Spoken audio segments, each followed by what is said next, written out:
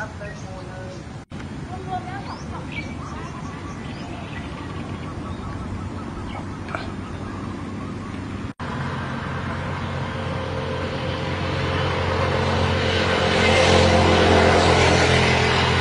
ก็มีอินทผลัม120 ต้นนะฮะ ค่ะ แล้วก็มีแก้วมังกรอีกพันฝรั่งครับ ค่ะ รวมแล้วประมาณกี่ไร่คะ อ่า ทั้งหมดซีกละ9ไร่2ซีกก็ 18 ไร่ครับ น้ำท่วมหมดเลยอะครับครับครับทั่วหมดเลยครับ นะครับเคยเคยเคยตั้งแต่ปลูกมาเคยท่วมแบบนี้ไหมครับ เคยท่วมครั้งแต่ไม่ถึงขนาดนี้นะครับแต่ก็สู้ได้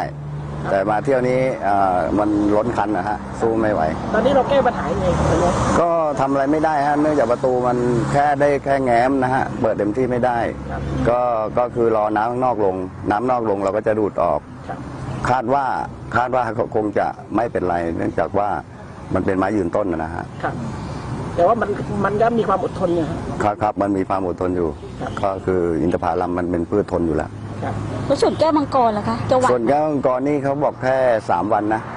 ถ้า3วันกู้ไม่ได้ก็ร่างเน่าก็คงจะคงจะตายก็ต้องปลูกใหม่แหละครับ ครับเราเก็บลูกหรือยังคะแก้วมังกร แก้วมังกรเพิ่งปลูกปีนี้อ่าเก็บไปบ้างแล้วฮะเก็บไปบ้างแล้ว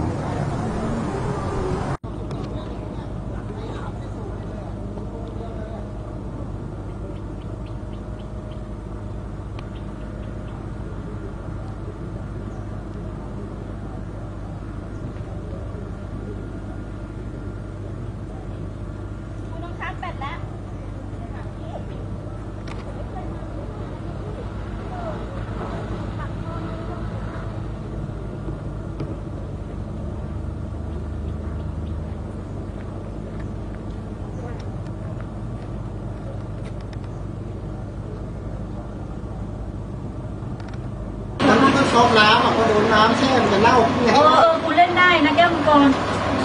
แต่เราไม่ยอมให้เน่าไม่ได้อ่านี่นี่พูดอะไรก่อนแล้วก็ตะพูดอันนี้นี้เป็นดีหนึ่งแล้วทำให้เป็นเลยครับอย่าไปดึงย่ำโคนนะ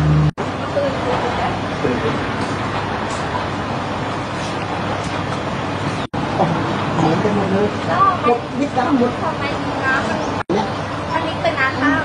นาเหรอเนี่ย ใช่เป็นน้ำข้าวเขาก็ ปล่อยจมผู้ใหญ่บ้านแล้วก็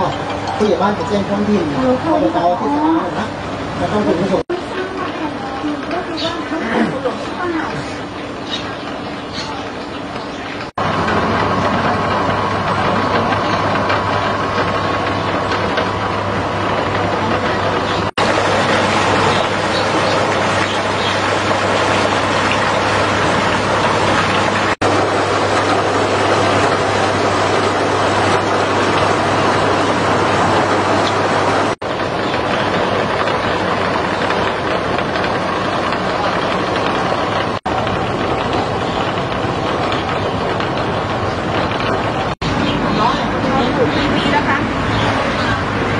ขายได้ยังคะ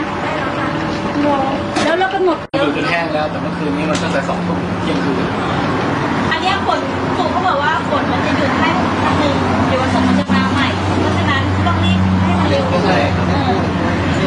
เพราะว่าที่เดี๋ยววันศุกร์มาใหม่จะสร้างเรียบร้อยไม่ได้หยุดที่ที่ที่เป็นเชื้อโรคแท้จุลินทรีย์ที่ต้องการอากาศโอนเย็นน่ะมันคือไม่ชื่นเท่าไหร่นะแล้วก็อันนี้โรคหงเตี้ยมันไม่ใช่ชื่นโรคหงเตี้ยใช่ไหมหลังจากที่เกิด ปัญหาพี่น้องเกษตรกรได้ประสบอุทกภัยในพื้นที่การเกษตรเสียหายนะครับอของอำเภอปากท่อนี่ก็เริ่มประสบภัยพิบัติมาตั้งแต่วันที่ 22 23 24 นะครับก็การช่วยเหลือนะครับในเบื้องต้นเราจะต้องรีบรายงานอำเภอรายงานจังหวัดให้ทราบในเบื้องต้นโดยเร่งด่วนนะครับภายใน 24 ชั่วโมงนะครับหลังจากนั้นนะครับก็จะจะมีคณะกรรมการที่ตรวจสอบ ภัยนะครับก็จะลงมาตรวจสอบนะครับว่าเกษตรกรประสบปัญหาในพื้นที่การเกษตรเสียหายโดยสิ้นเชิงหรือไม่นะครับเอ่อก็จะให้ความช่วยเหลือในลำดับต่อไป หลังจากที่เอ่อทราบเป็นแน่ชัดแล้วว่ามันประสบความเสียหายครับในพื้นที่การเกษตร ตรวจสอบเบื้องต้นตอนนี้มีมีนาข้าวมีอะไรบ้างคะครับตอนนี้นาข้าวมากที่สุดครับ นาข้าวนี่ ตกเป็นหมื่นไร่แล้วครับตอนนี้นะครับรวมแล้วทั้งไม้ผลทั้งพืชผักก็หมื่นกว่าไร่ครับตอนนี้ในเบื้องต้นครับเพราะเมื่อคืนเนี่ยตอนนี้ยังไม่นิ่งก็ฝนยังตกมาเรื่อยๆทุกวันครับพื้นที่ยังเพิ่มขึ้นเรื่อยๆครับผม แล้วการชดเชยเนี่ยมันมันมันมีขั้นตอนแล้วก็ต่อไร่เราจะเกษตรกรเราจะได้ประมาณเท่าไหร่ยังไงคะ